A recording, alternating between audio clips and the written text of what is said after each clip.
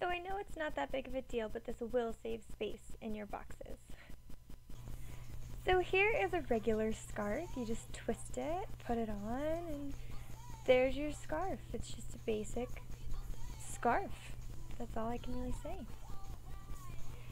Now this is just a regular shirt, you see, any other shirt that I could wear any day. And now I'm just going to go ahead and throw it right on over my head and mess around with it until it looks decent as a scarf. And then there's my newest shirt scarf. Looking fabulous as ever, right? So now I'm going to show you how to make some DIY pillows and embellish your mirror.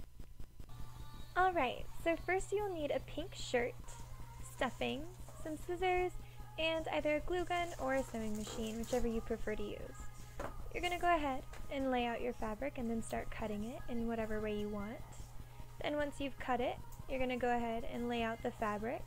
Make sure that you fold it in the way that you want your pillow and trim off any excess. Then you're going to lay out the piece of fabric that you just cut and make sure that it's inside out so that you can refold your pillow the right way. Just make sure you glue it correctly. Then go ahead and glue.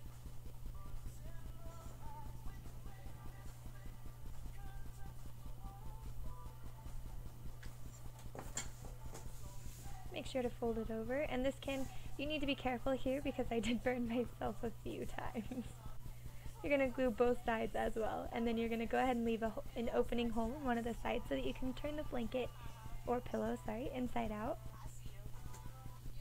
and just make sure that it's all open and then go ahead and start stuffing. Stuff as much as you want or as little as you want and then just glue up that little hole that you left. And there's your new pillow. Gosh guys, I'm so tired. Like I could just, I could fall asleep. Like seriously, like fall asleep.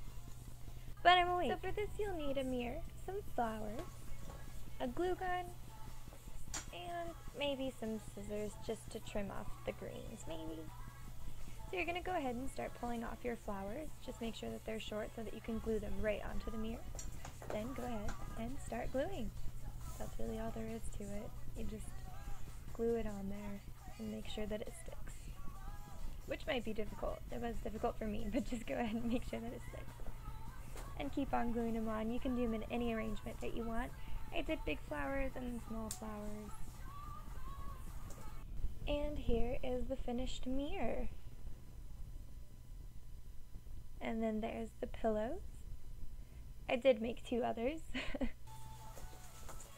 Dancing, it's raining flowers. Oh my gosh. I'm such a dork.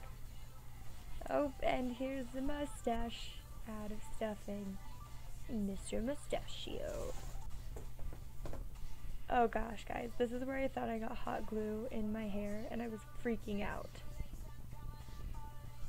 And then I got over it.